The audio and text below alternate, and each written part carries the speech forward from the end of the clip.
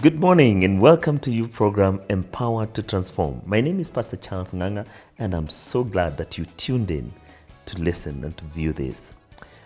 Well, Easter has just uh, concluded and I pray that you had a good Easter and that you remember that the central message of Easter is the terrible price that Christ paid so that you and I could be free. Free from guilt, the guilt that is and the shame that is brought by sin and so that we could live our lives in such a way as to honor God, to serve Him, and to serve others. If you forget everything else, please do not forget that the price has been paid for you to be set free. Do not live in the past.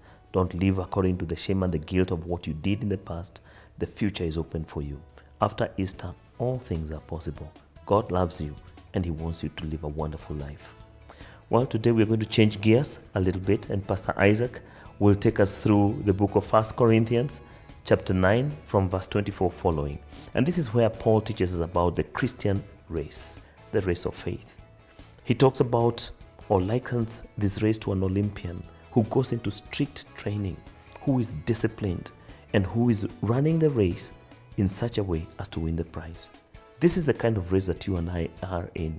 We need to enter into strict training, we need to be disciplined so that at the end of the race, we can be commended by God as He tells us, Well done, good and faithful servant. You have done well. You have done me proud. God bless you as you listen to this message and as you apply with courage and with faith some of the incredible lessons that you will learn today. If you have your Bible, I'd like to ask you to please turn to 1 Corinthians chapter 9. 1 Corinthians chapter 9. We are going to be looking for at verse 24 into chapter 10 up to verse 13. 1 Corinthians chapter 9 from verse 24 into chapter 10 verse 13.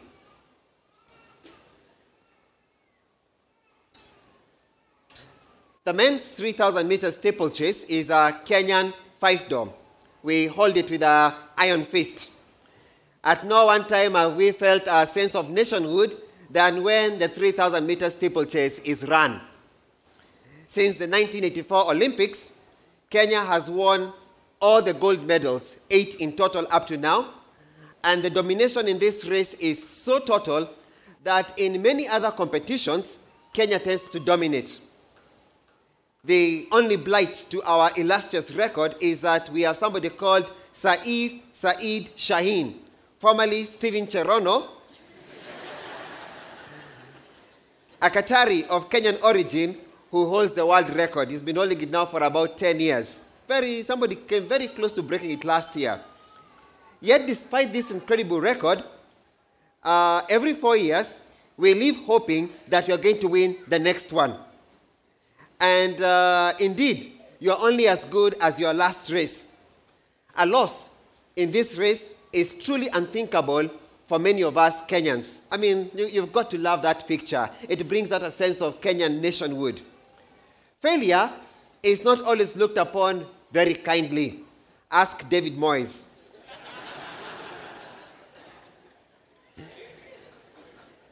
As we come to the end of uh, this Easter series, we find ourselves in a place where we need to take stock of the great victory that God has brought upon us. Our approach to God has not always been so assured. We started off by looking at the power of sins in our lives then we looked at the incredible work of God in saving us through the perfect high priest, who also happens to be Jesus Christ, and was also the perfect sacrifice. And then last week, Elder Noel told us about a God in Jesus who passionately pursues sinners, uh, such that we are able to live for more than just the blessings that He gives to us. Indeed, the big question for us now is how then do we live as people who have been redeemed from slavery to sin. Indeed, now that we are out of jail, how are we going to live as free people? Thus, this sermon is uh, split in two parts where we focus on a race, but also when we are running, we need to be aware that there are obstacles in the race. In many of his writings, Paul is very concerned about Christians and have, uh, about Christians having the right focus. 1 Corinthians chapter 9, verse 24. Let us read together to 26 says, Do you not know that in a race all the runners run, but only one gets the prize? Run in such a way as to get the prize. Everyone who competes goes into strict training. They do it to get a crown that will not last. But not we. We do it to get a crown that will last forever. Therefore, I do not run like someone running aimlessly. I do not fight like a boxer beating the air. Now, this is not an accidental reference by Paul to his audience, but rather it is one that his audience could be able to easily identify with. The Corinthians were very, very familiar with athletic events. There were some very important games that took place every two to three years in their neighborhood. And these games were only second in importance to the Olympic Games in all of Greece.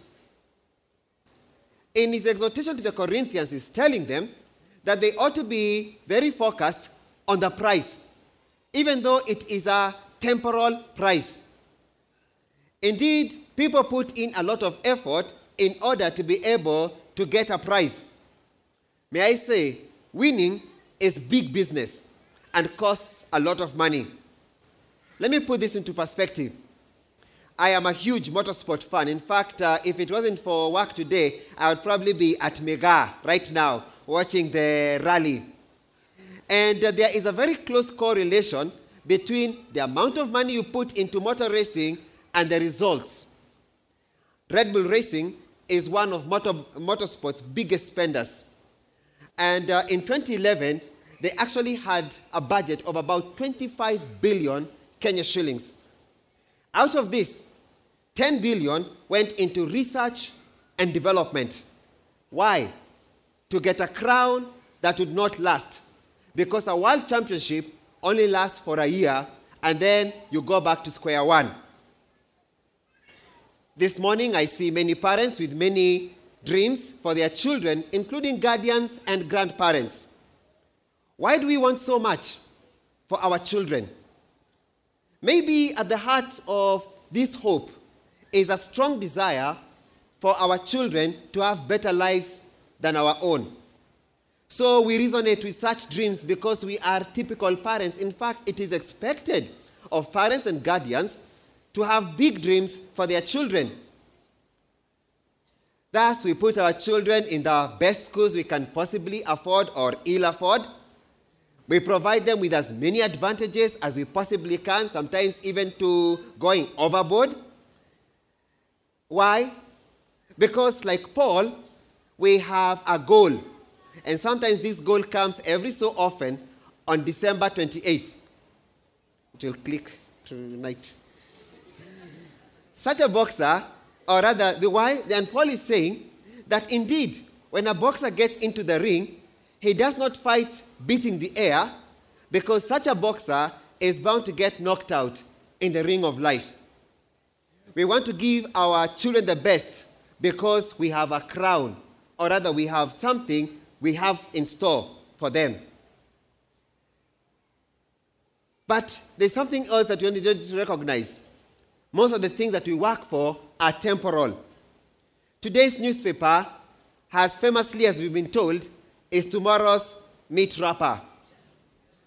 What's hot today is definitely not cool tomorrow. Living in a 24 hour news cycle has the power of making the most serious sometimes look very absurd, and all we live for is hashtags and trending topics if we are lucky. Yet, in view of these comparative values or rewards, one which is temporal, another one which is eternal, Paul says, run the Christian race purposefully, not aimlessly or half heartedly. Because he wanted to gain a prize at the judgment seat of Christ. To use a different figure and to make the same point, he did not throw wild punches, but he wanted to make every punch score because that is important. It is not the amount of effort that you put in, but rather it is the way you are able to make your punches land on a target that you score a point. You see, Christian service is not just activity. but it is activity that is focused on a target. Today, I see parents who also invited family and friends. How I pray that this is not just an activity that we did because we do, but that there is a very specific target that we have. Indeed, I want to be able to say that for each and every one of us, I hope we have not, sit, we have not sat here because we do this every Sunday, but I want to be able to say that there is indeed a target. You see, the building of the church and the spreading of the gospel is the number one reason why I see so many of you this morning. It is the work of the gospel. Thus, any good athlete will need to recognize the things that will easily stop him or her from achieving the crown. Paul says the Corinthians were becoming spiritually flabby. They had been wanting the rewards without the hard work. They had been more concerned about pleasant surroundings rather than proper training conditions. The streets of the city and the hillsides of Corinth would have been full of athletes training hard in order to be able to gain a crown at these prestigious events. It was self evident that every athlete needed to exercise self control in all things. After all, self control also happens to be a gift or a fruit of the Holy Spirit. So, if such discipline is crucial to gain a crown that will not last, how about then a crown that will last to eternity? Paul is saying we have to be very careful because indeed there is a place we are going. So, even as we enjoy freedom in Christ, even as we now live as Christians, it is important that we never forget that there is a very important and specific target for all of us. So Paul is saying, run to win.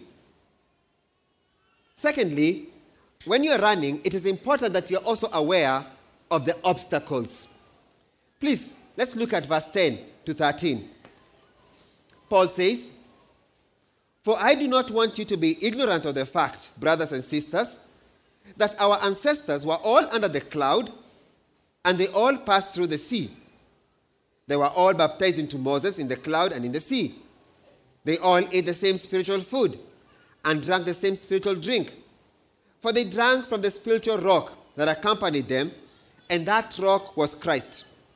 Nevertheless, God was not pleased with them or with most of them, and their bodies were scattered in the wilderness. Now, these things occurred as examples to keep us from setting our hearts on evil things as they did. Do not be idolaters as some of them were, as it is written. The people sat down to eat and drink and got up to indulge in revelry. We should not commit sexual immorality as some of them did, and in one day, 23,000 of them died. We should not test Christ as some of them did and were killed by snakes. And do not grumble as some of them did and they were killed by the destroying angel. These things happened to them as examples and were written down as warnings for us on whom the culmination of the age has come. So if you think you are standing firm, be careful that you don't fall. No temptation has overtaken you except what is common to mankind. And God is faithful. He will not let you be tempted beyond what you can bear. But when you are tempted, He will also provide a way out so that you can endure under it. The NIV in chapter 10 is able to tell us to start off the word chapter 10 with 4. Thus, the connection with the foregoing chapter is expressed. Paul in chapter 9 lays the basis of, for why we need to exercise self control. It is so that we can attain the prize. In chapter 10, he goes on to warn the Corinthians, or brethren, of the danger of falling away despite having experienced the knowledge of knowing God's goodness in your life. Paul, as a good scholar and teacher, gets the perfect example from the life of the history of God's people themselves. And Paul gave a warning to the believer who considered himself strong or herself uh, perfect, an individual who knew that there were no other gods, but the one true God, that such a person felt free to accept invitation to a pagan neighbor to dine in a pagan temple. And the Apostle Paul cautioned this group in the Corinthian church because even though there were no other gods, the possibility of participating in idolatry was very real. And thus he drew his lesson from the experience of Israel during the wanderings in the desert. Indeed, it's this that yes, you are a Christian. And indeed, that's what we do. We are. But in not a long while, we are going to go and file out of that gate. And indeed, we are going to be living in a world out there.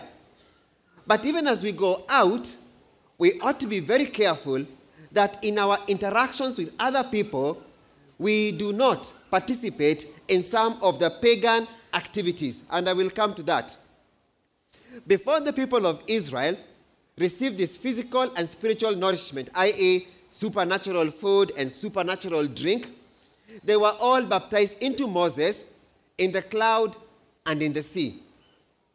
The, the use of the word baptized is, of course, highly significant. To be baptized into Moses meant they were voluntarily and unconditionally placing themselves under the leadership of Moses. Paul, or rather Paul's very striking language, which is also very unusual in this passage, emphasizes the parallels between the privileges of God's people in the desert under Moses and the privilege of God's people under Jesus in Corinth and even on us here at Mamlaka Hill Chapel. In both historical epochs or eras, there are two events which are very significant with meaning. Being baptized to denote loyalty to God's appointed leader and being provided with supernatural food and drink on a regular basis. Indeed, to be under Jesus is to know that you have to obey him, but more than that, it is to experience a supernatural provision from him. Paul is certainly comparing the arrogant attitude of God's people under Moses to the arrogance of certain Corinthian Christians in his own day. They too had been through the baptism of water with a deep significance carried uh, to, to have allegiance to Jesus as Lord. They too were involved in regular uh, common meals where they were both nourished physically and also nourished spiritually. But they had they also received a lot of blessings. But they were in danger of missing out on the ultimate prize. You see, these Christians, like God's people under Moses, were at the end of receiving great blessings, but to receive great blessings by no means does not mean to enter into the privilege and responsibilities of blessing. May I repeat that again? That to receive blessing by, by no means does not mean to enter into the privilege and the responsibilities of blessing. Let me give you a classic Kenyan example. Uh, Kenyans, we love taking our children as possibly as we can to a Christian school.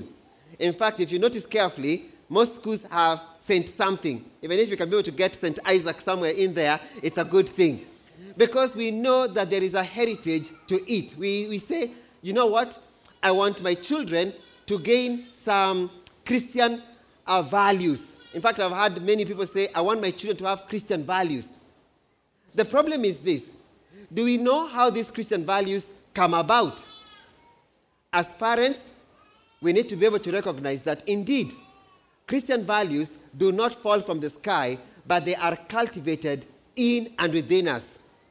So it is important that we are able to recognize that these things do not just occur in the air, but they occur through a life of living each and every day under the lordship of Jesus Christ. It is possible, like the Corinthians, to be so absorbed with the rights to, uh, of being a Christian and presume on the relationship with the Lord. Paul's point in these first four verses was that the Israelites were the chosen people of God, just as the Christians are now, uh, are the chosen people of God. But even though they were able to enjoy God's faithful provision, they were in great danger, and indeed many of them fell away in the desert, and we too stand the same fate if we are not careful. Despite all these facts, we may experience God's gracious salvation, but we are not allowed to presume on His goodness. Let me give you an example again. Generally, in an athletics meet like uh, the Olympics or the World Championships, it takes two fin- uh, it takes two races to qualify for the final. In the final, you must exert yourself more than ever in order to be able to win the race. I've heard it said that sometimes the difference between a gold medal and a silver medal is not ability, but who wants it more. In the final of the 800 meters uh, women's race at the World Athletic Championships in Moscow last year, Maria Savinova was a red hot favorite. She was, the, she was running at home. She was the Olympic champion, and she still is the Olympic champion. And indeed, everything on paper showed she was going to win. I was watching the race, and I knew she was going to win. But in the last 100 meters, an upstart called Eunice Sum from Kenya appeared to find a second gear and started to forge ahead. Roared to the rafters by a passionate home crowd, Maria Savinova was expected to surely win. But guess what? It was a 25 year old from Kenya, known as Eunice Sum, who prior to Moscow had not run outside of Kenya in 2013, who would go on and win Kenya as a prize gold medal. I still remember that race and I get goosebumps because it was totally unexpected. On paper, Savinova should have won the race. She had pedigree, she had home court advantage, and guess what? She was the, she was the reigning Olympic champion. So she knew how to win. So it is very possible that you can have every single pedigree on your side. You are coming from a background whereby your father, your grandfather, your great grandfather, probably you are the people who even provided the piece of land where the church at home is built. but guess what? You fall away.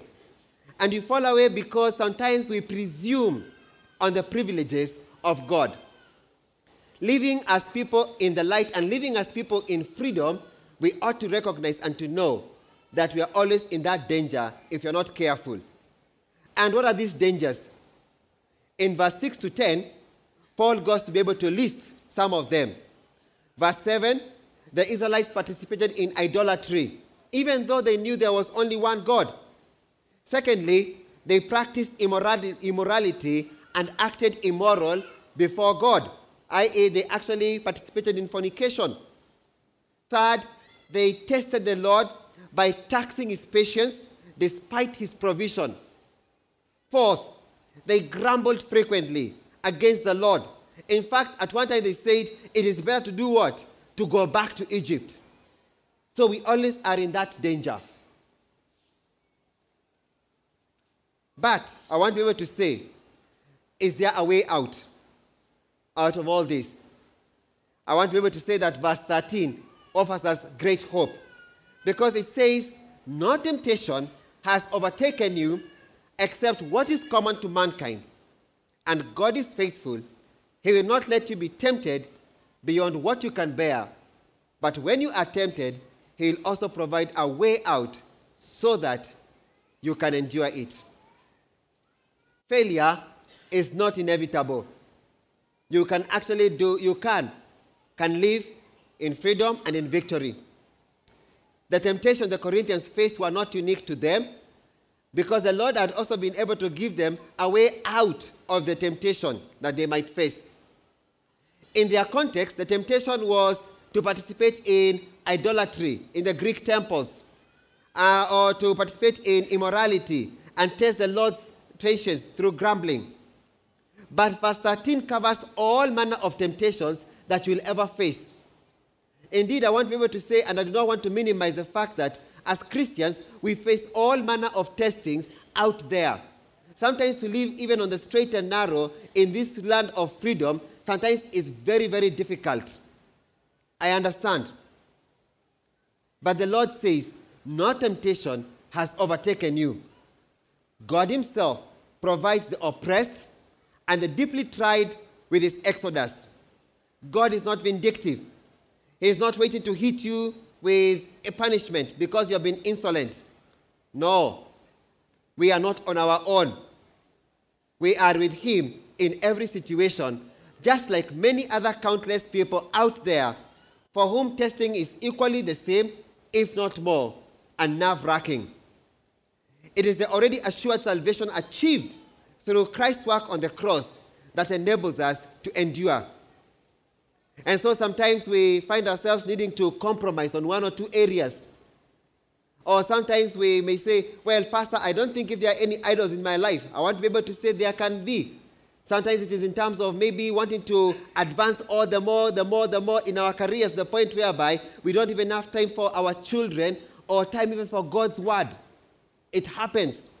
In fact, I want to be able to say, I am recognizing that people like you have come to church are actually in the minority more and more. Once or twice I've had a chance to stay at home on a Sunday, and I'm amazed by the sheer number of people in Nairobi who no longer go to church. So you actually are beginning to become a minority.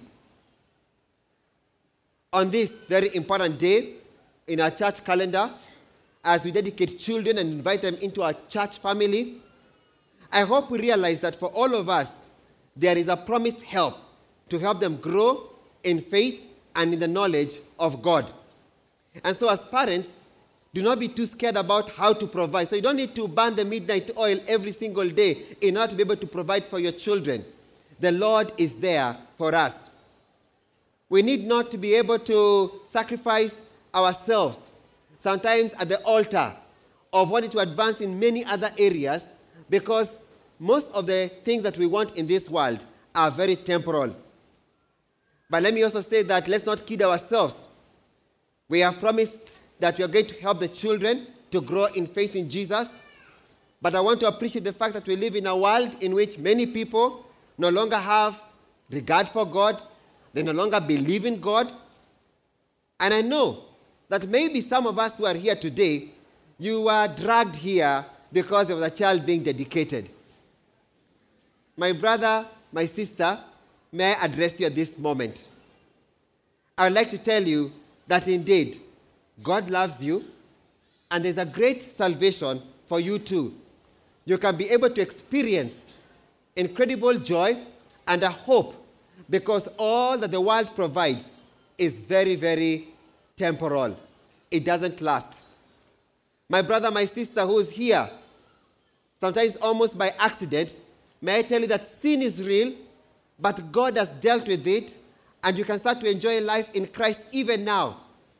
And even for you, my brother, my sister who is watching at home, may I tell you that sin is real, but God has dealt with it, and you can start to enjoy life in Christ even where you are at this moment as you watch. Because all that the world gives ultimately is perishable in the long run. For those of us who already have a relationship with Jesus Christ, may I say that uh, verse 1 to 13 deals with the dangers involved in participating in pagan activities because that is the word for the world system out there because it has no regard for God.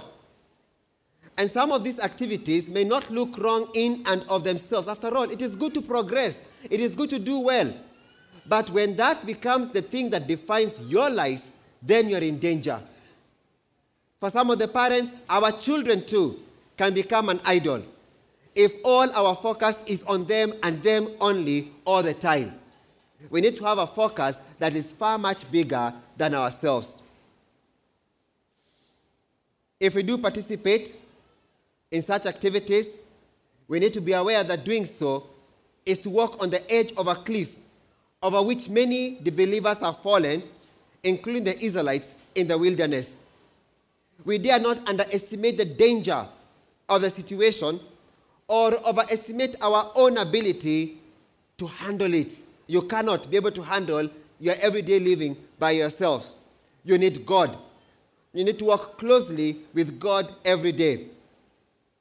We all know what our pet, pagan, and idolatrous activities are. It's not for me to tell you, rather, the Holy Spirit will convict you. But I've mentioned a few. But I want to be able to say, all is not lost. For we can rejoice and tell others of what the Lord has done for us. For in every situation, He offers a way out for us. Indeed, I want people to say that we can be able to enjoy freedom in Christ and be able to live in such a way that every single day is full of joy because we are no longer in the prison of sin. Indeed, because of the cross, we are free. We are free from all the prisons that we'll ever experience in our lives. And so this morning, I want us to be able to make a prayer. In this race of the Christian walk, it is very easy sometimes to lose focus of the crown. Sometimes the obstacles that lie in front of us are so many and we are discouraged. But we thank you, Father, and we glorify you because we know deep inside you are our friend. How I pray, especially for a brother or a sister who's here this morning and does not have a relationship with you, or probably the relationship has gone cold over time and they have slowly found themselves going back to prison. My Father and my God, I pray and I ask that you'd help even at this moment to experience freedom afresh. But Lord, as I want to pray for many of us who, even though we are free, sometimes we still have the jail mentality in our hearts. We are sometimes, my Father and my God, caught up in the things of this world. Dear God, help us to be able to stay focused on who you are. We thank you, Father, for these children that have been dedicated this day. I thank you, Father, for the family of Mamlaka, which has grown even more today. How I pray that Jehovah God, that even as we come to the end of this Easter series, you would be honored and glorified. And I pray for our brothers and sisters who are watching at home, even at this moment. Would you touch a brother or a sister who feels very wearied and who is so lost that Jehovah God, even at this moment, they can experience freedom? We thank you and we glorify you. In Jesus' name we do pray and believe. Amen. I hope you've been challenged by today's message, and I hope that you will take seriously the way you're running your race. Are you running in such a way as to win the prize? Paul says he's not he doesn't fight like one beating the air. He has focus and he has purpose. This is the way we ought to be running our race. And there's even a good reason, even a better reason for us to run well. Remember that we are told that the athletes here, they run to win a prize that is temporary, that will fade away. But we run to win a crown of glory that will never fade away. It's an eternal crown, an eternal prize. So let's put every effort to win the prize that God has promised, one of eternal glory. And if God makes such a promise, just imagine how incredible that prize is going to be because it's predicated upon a God who does not lie. I hope that you will take this seriously and do everything that you and I can so as to glorify God in the way we live this life. God bless you.